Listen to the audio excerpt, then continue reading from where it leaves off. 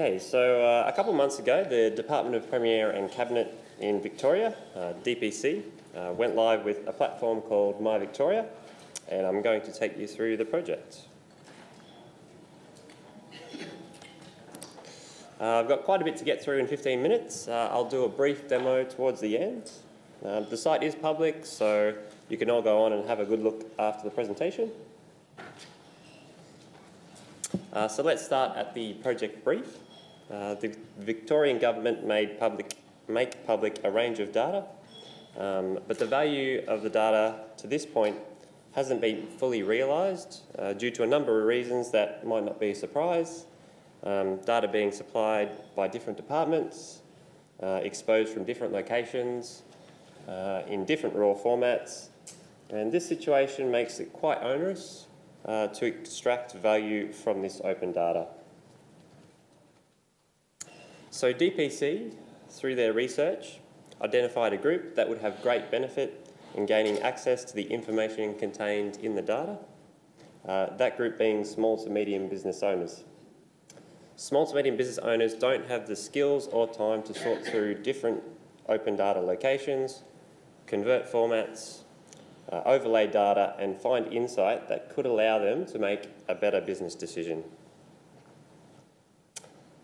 Uh, this is a diagram of the data available to My Victoria that the DPC data team put together and it illustrates one of the barriers um, to gaining this insight of having a variety of places for open data.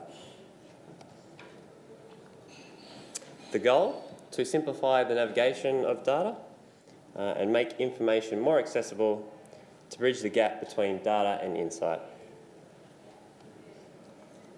Uh, to help DPC achieve this goal, a multidisciplinary team was assembled across a few entities to deliver a high value product to the community.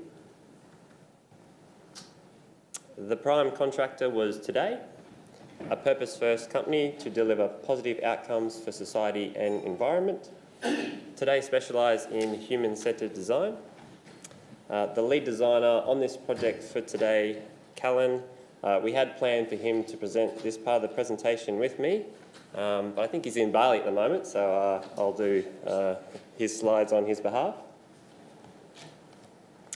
Uh, Geoplex were brought on to do the AWS infrastructure, the map and data components, uh, which is in our wheelhouse. Um, so on to the design process, which was led by today. Uh, it was quite extensive and an eye-opener for our company. Um, I don't have time to go through each step, uh, so I've picked out a couple key steps that I thought was interesting and relevant to uh, a spatial audience. Uh, this is another representation of the design process, which you may or may not be able to relate to. All right, so in the first stage of the design, uh, Callan did a landscape review of a bunch of different mapping websites.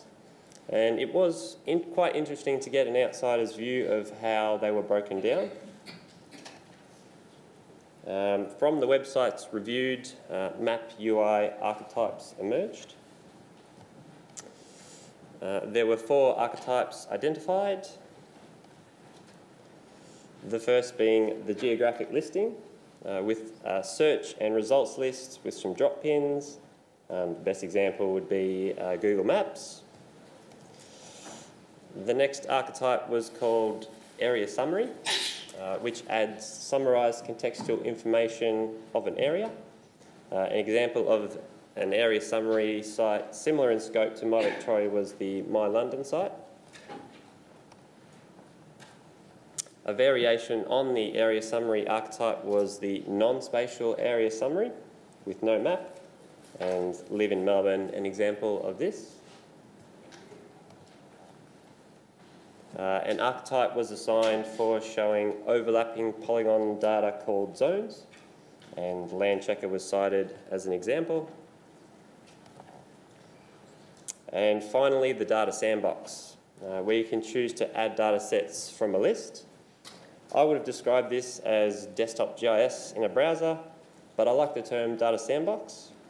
Um, national map, I'm guessing most of you would be familiar with uh, as an example of this. Uh, so those are just a subset of the slides from the landscape review. Um, there were pros and cons for each archetype when displaying different types of data, uh, and had I had more time, I would have included them. Um, but the result of all this, uh, the area summary archetype was chosen as the template for My Victoria. Uh, the other stage in the design process I thought was worth mentioning was the co-design. Uh, so this is a photo from the co-design which involves getting small and medium business owners into today's studio, testing different ideas, finding out what information the target audience wanted and how they wanted it presented. So in the co-design of the 60 plus data sets, uh, some were identified as more desirable than others. Uh, the horizontal axis there being development effort. Uh, so unfortunately for us, there was nothing in the uh, easy and uh, highly desirable. Um, also, how small and medium business owners thought about navigating through the data was tested, uh, and the results were starting out at an area, being either suburb, LGA, or region, um, then browsing down through the data themes uh, and getting more detailed as you progress into those data themes. Uh, so all of that amounted to the initial design of the platform. So uh, while today was off doing that, we were developing the back-end infrastructure, uh, the map client, and also helping the DPC data team to prepare, to prepare the data for the front end. Um, so this is a representation uh, of our stack. I'll go into it a little bit more detail shortly. Um, a key part of delivering the infrastructure was through code. Uh, there are many benefits to using cloud infrastructure. Um, these are just a handful that we got by using tools like AWS CloudFormation to build out the machines, auto-scaling groups to meet demand and to make sure everything was up and running, uh, and CloudFront was used to make the site very responsive by uh, caching the responses. All right, so I'll do a quick demo just to give you a feel for the map component before going into the stack. Um, so this is the home page uh, and a search bar. I'll um, have a search for Parkville. Ah, we're still doing this thing, are we? All right, uh, let's stop this. Try, uh, that one looks good. All right, so searching into Parkville. So once you search for an area, you land on the area overview page. Um, so you get a summary of each of the data themes um, on the left. You can scroll through. Um, you can then navigate into uh, a data theme, so we'll go into demographics, which is primarily the census data. You get some more information, um, so we've got total population, um, and then we have another level, so you can go into these data blocks um, to get, uh, in this case, population by age and sex. Um, and each expanded data block has an accompanying map, um, so this shows high, low relative um, population for surrounding suburbs. Um, you can also interact um, with different suburbs to get a quick comparison of, uh, in this example, total population. Um, you can also change if you want to see more detail, so if you want to um, have the expanded data block for a neighbouring suburb, you can change this area through the map. Um, and in this demographics, we have um, two types of styles. So we have the categorized, sorry, this is the, uh, what do I call them? The gradients. I think we're going with gradient for these maps with the continuous data and the categorized we've got for the discrete data. So for households here, we've got more of a categorized um, with the yeah, identifier. So that's the basic feel of the map components. Um, many different uh, maps in this demographic data theme, breakdowns, and so forth. Going back to this.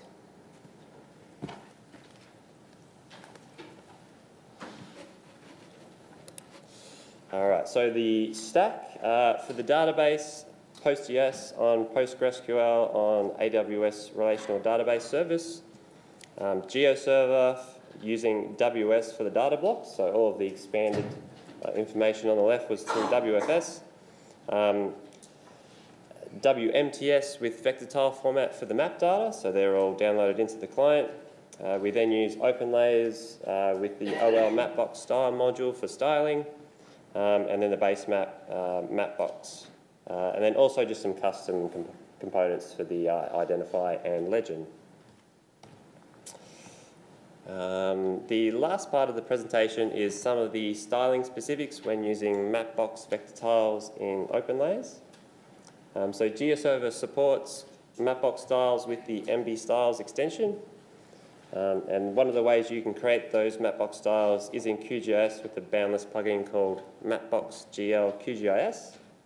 Uh, so you can export your styles uh, and then store them in GeoServer. Um, and then in OpenLayers, you can use the boundless module to style the OpenLayers with the style function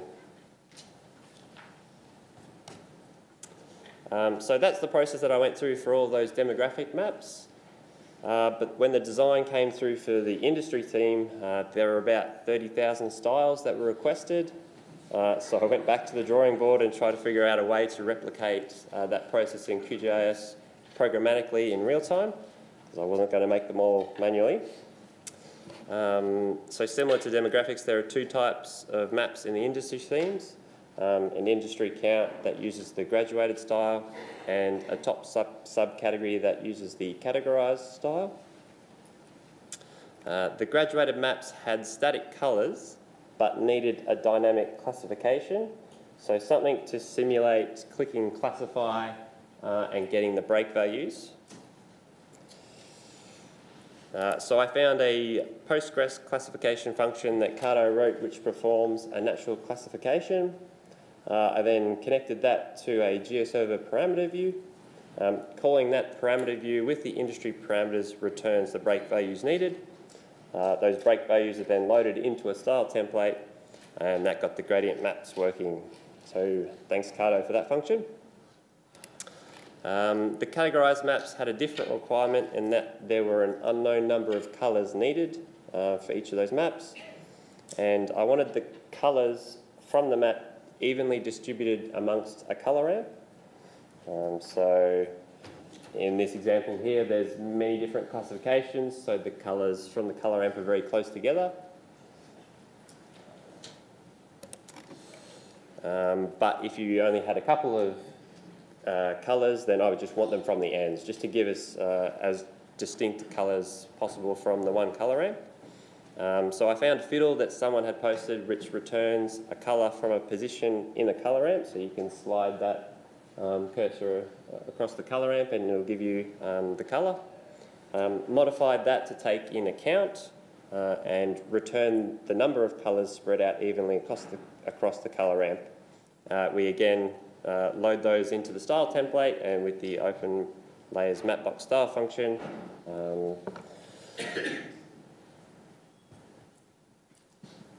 load the industry map. So I can show you that just to show you it's working. Um, so, I mean, might just go back to Parkville. If I come out of the demographics and I'll go into the industry. Um, so this is the primarily WorkSafe data. Um, and you can either type in or browse through the WorkSafe classification. So if I go into oh, go into one that's got, I can just, so the total count, so this is doing that um, break values classification on the fly. Um, so that gives us uh, the style needed for that map and then the industry breakdown this is the categorized one. In this example, there are only a couple of possible values, so I'm picking two colors from the outside of the color ramp, um, but then going down into the next level um, has many more colours, so still spreading out those colours in the colour ramp.